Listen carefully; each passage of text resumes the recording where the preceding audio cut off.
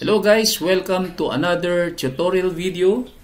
Uh, this is teacher Jundi once again and today we're going to have the demonstration on how to draw an elevation view from a given floor plan. This is a step-by-step -step, uh, procedure so that you can follow easily. Let's get it on. Draw a horizontal line at the lower part of your grid lines and mark as your ground line GL.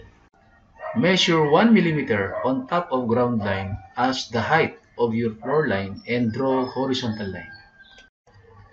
Measure 12 mm or 1 cm and 2 mm on top of your floor line as the height of the lower window jamb and draw horizontal line.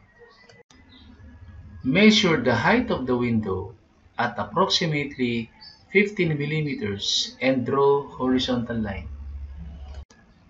Measure 7 millimeter from the upper window jamb as the ceiling line CL and draw horizontal line. From the ceiling line, measure 3 millimeter as the fascia board and draw horizontal line.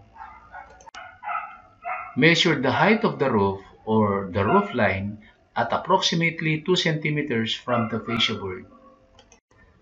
Extend lines downward to all measurements from the front side of your floor plan.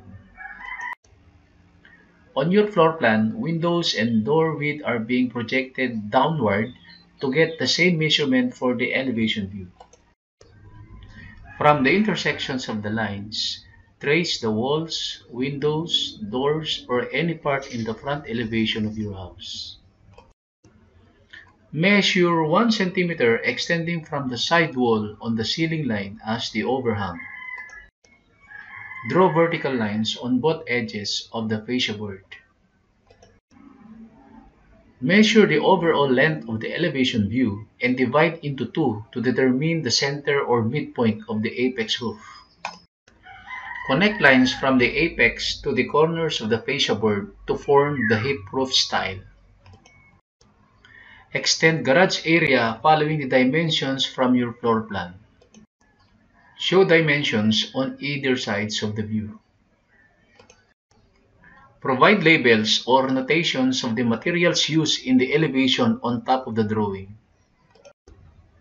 Write the title of the drawing or project and the scale used. So guys, this is now the elevation view coming from a given floor plan and I hope that you learn a lot from this demonstration. See you next time.